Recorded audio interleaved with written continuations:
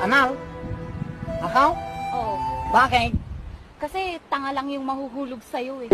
Na Stefanay, pansimbag ka ba? Hindi, bakit? Nanununtok ako ng magandang babae eh. eh di suntukin mo ako. Bakit? Maganda ka ba?